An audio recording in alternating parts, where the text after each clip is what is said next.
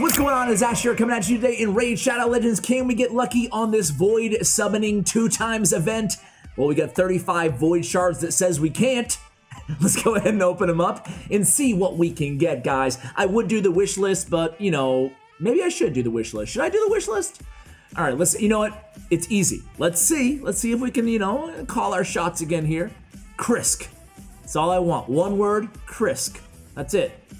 Two words, Hegemon. Come on, Raid Gods, hook a brother up. All right, so we get Painkeeper instead, who's a fantastic rare champion with the combat tactics, decrease the, the cooldowns of all ally skills by one turn, and heals based on her HP, which is great. Have a Painkeeper, you put her in a shield set, you've got yourself one hell of a support champion. All right, next we got uh, Ifrit, trash. Next up we have None other than another rare. Okay, no, no thanks, Daywalker. Daywalker. Don't even know what he does.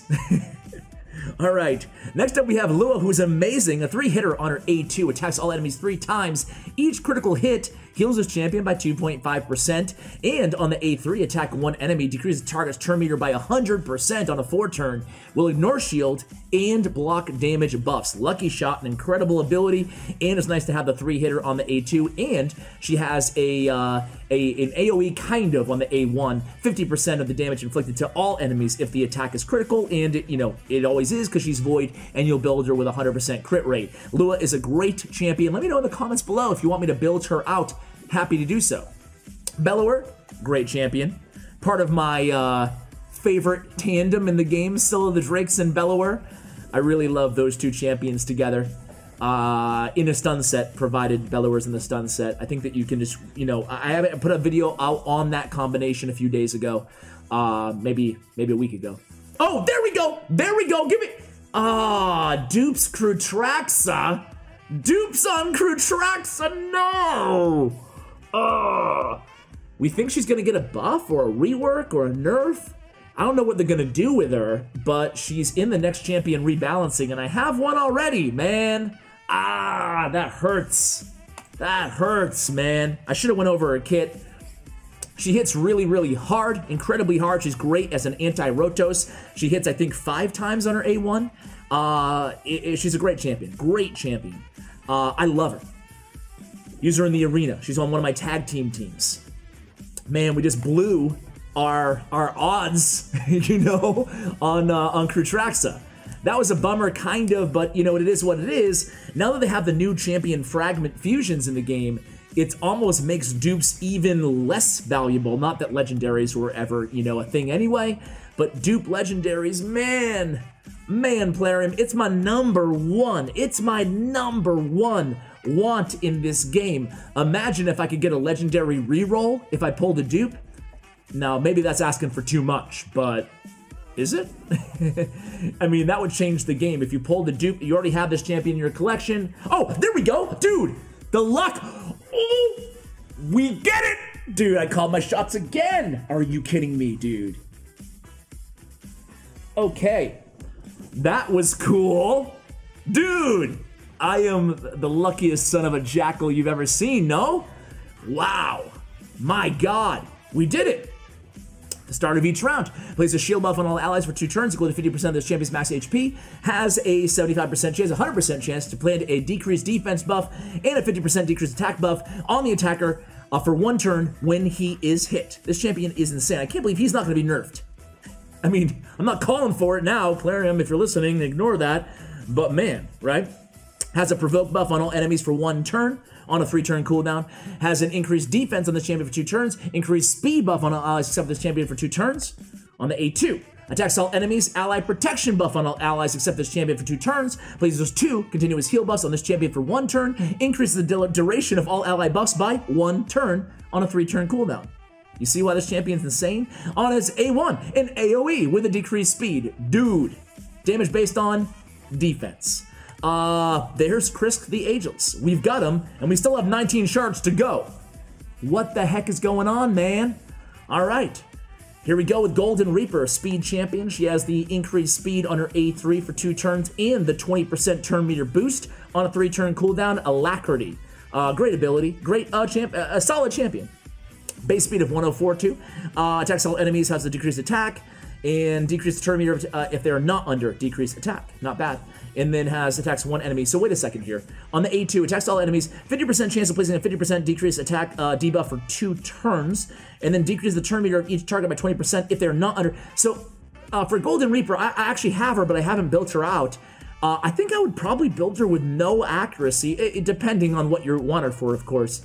Uh, but I think I would rather have, especially if I already had a decreased attack on the team, I think I'd rather have the turn meter of 20% and build her with no accuracy. On her A1, she doesn't have a debuff any. Well, actually, I need the accuracy no matter what for the turn meter. I'm an idiot. Ignore me. I'm still living off my high of Krisk, okay?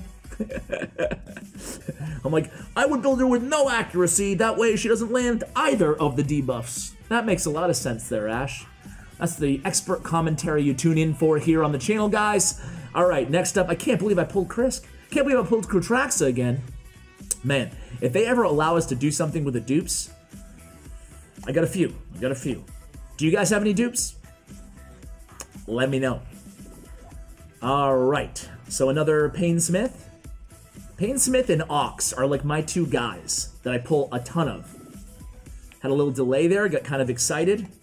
13, 12, this video is already, it could be over now at this point, you know? I've already got the luck of all luck. I called my shots again. Haruspex, great champion uh, for a rare. We got a Reliquary Tender, probably one of the better rares in the game. A lot of people would say she's a top five uh, rare champion overall. She has a, a, a, revival on her A3. She has a beautiful cleanse here with a continuous heal on a three turn on Tender's Watch, her A2. Definitely an insane ability for a rare champion on the A2. Uh, we got 10 left, or 11 left. Malbranch. We get... Okay. No thank you, Harvester. Get eight left. How lucky could we get? Can we get another one? Could we get another one? I can't believe I called it, man.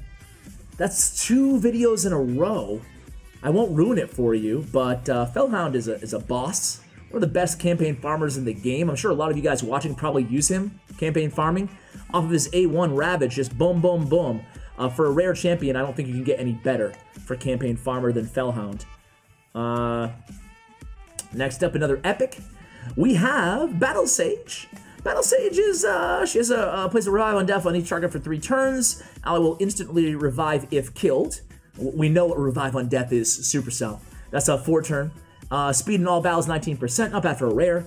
Uh, increase attack buff on all, actually she's an epic, my bad. increase uh, attack buff on all allies for two turns removes all debuffs from the allies, and the, this buff cannot be removed. And then uh, attacks all enemies. It's not bad. Not a bad champion at all. Uh, next up is another rare. Vanguard. And we got five left here. Another epic. All right, so we got uh, Basher. Basher, you guys know, is one of my favorite champions. Has a four time at random with the block uh, buffs on the A3. Has a increase the cooldown of all target skills by two turns on the A2, and has a weaken on the A1. Uh, great ability, Stinging Blast for the Arena. Arena tag team is definitely a uh, a solid option there. And now we have another one. We have Gala Longbraid. She is a great, uh, this sheer swagger going into the A, starting with the A3 in Arena and going into the A2 is really solid because if this champion has a full HP after using this skill, she gets an extra turn and ignores defense on, on a three hitter. And then the extra turn here, we can see ignores 50% of the target's defense when attacking under shield buff. So you put her with a champion who has a shield set on, you start out with the A3, you go into the A2, she can kill two enemies uh, right off the bat. You know, it's a good kind of opening play to have Gala with a shield champion on the same team. We got Retainer and we got two more left, guys. Let's see if we can get crazy lucky here. I can't believe I pulled Krisk, man. Skirmisher, no thank you, but Boom! There's a rare. All right, guys, that's going to end the video. Haruspex again.